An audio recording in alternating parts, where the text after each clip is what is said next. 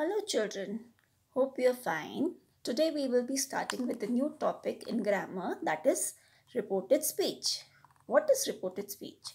When we want to tell somebody else what another person said, we can use either direct speech and reported speech. Reported speech is also known as indirect speech. Okay.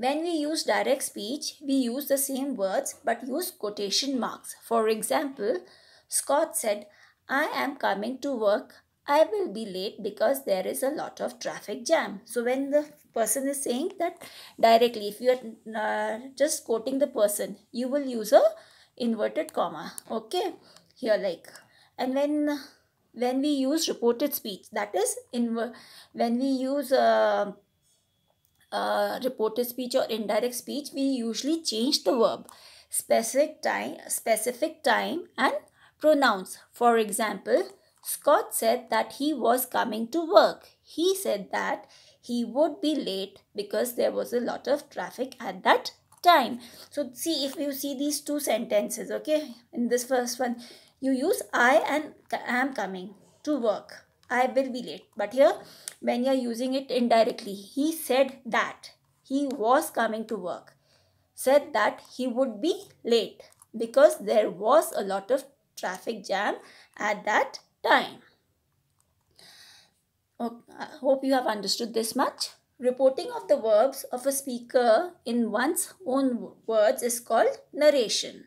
There are two ways of reporting that what people say direct speech and indirect speech also known as reported speech direct speech in in in in a direct speech we use the actual words of a, of the speaker using quotation marks supposingly अभिज्ञान ने कहा कि वो school आ रहा है अभिज्ञान ने if somebody is telling the other person Vishwesh ने कहा कि अब विज्ञान कह रहा है, वो स्कूल जा रहा है।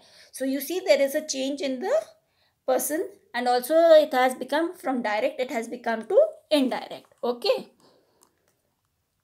when we convey the speaker words in our own words it becomes indirect speech it is the reporting of speaker words using a saying or asking verbs so in direct speech if it will be अब विज्ञान कह ने कहा कि वो school जा रहा है।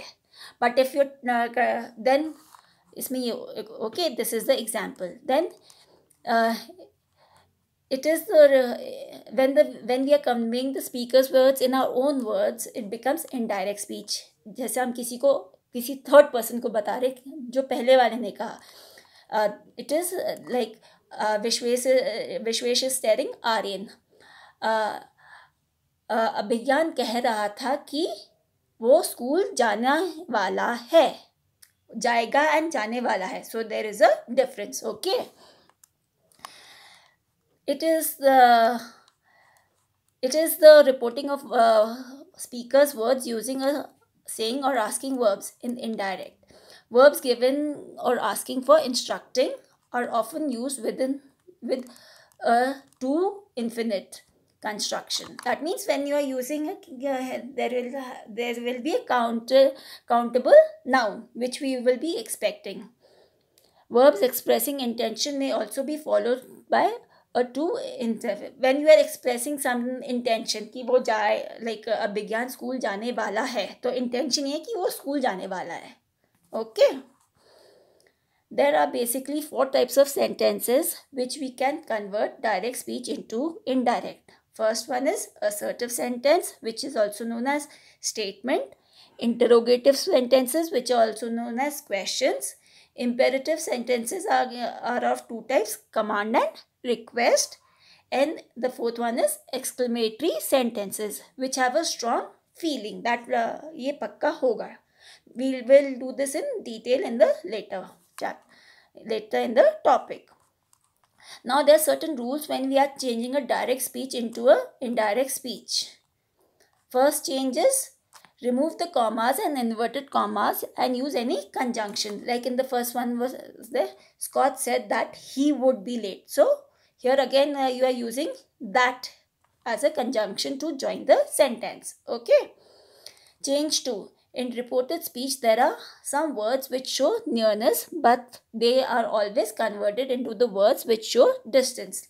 So, like uh, in the following tables, uh, in the following table, I'm sh showing you.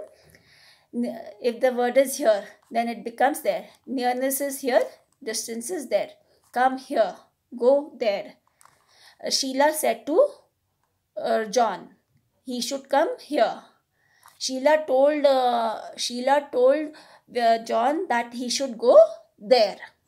So are you getting nearness and distance? Now becomes then. Now is the right time. John said that when he started working, then he had a then was the right time for him to work. This becomes that, these becomes those, today becomes that day, tonight becomes that night, Yesterday becomes the previous day. The last night becomes the previous night. Next week becomes the pre last week becomes the previous week. Tomorrow becomes the following day. Next week becomes the following week. Ago becomes before. Ago means baad and, and it will be before. It will change into before. Thus becomes so. Hence becomes thence. Come becomes go. See now there's uh, come is changed into go only that when the uh, there are certain changes where come becomes go when uh, the any word shows nearness is given with it. Come here, go there. Okay. Come tomorrow, go tomorrow. So here nearness and distance will be shown together. Change 3 change of person. The there are three types of person in english language. First person second first person second person and third person. See in the first person it will be i and we. In the second person uh, it will be you. And in the third person it will be he she and they when you're showing the possession that is something uh, somebody is possessing then it will be in the in the first person it will be my or our. Second person it will be your. In the third person it will be his or her or their his sister her her brother their uncle. Then in the for uh, in accusative. The it will be me and us in the second it will be you and again in the uh, third person accusative it will be him her or them. Then let's come to change 4 if the reporting verb is in the present is in the present or in future tense there is no change in the tense of the reporting speech.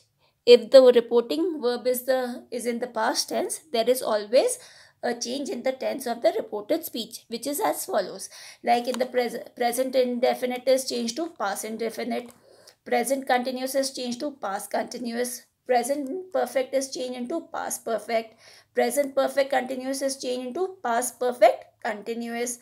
Past indefinite is changed into past perfect. Past continuous is changed into past perfect continuous. Past perfect uh, past perfect and past perfect continuous remain unchanged. In case of future tense, there are only four words which are which are changed. That is, will becomes would, shall becomes should, may becomes might, and can becomes could. Now we will talk about the uh, changing indirect into direct in the next video.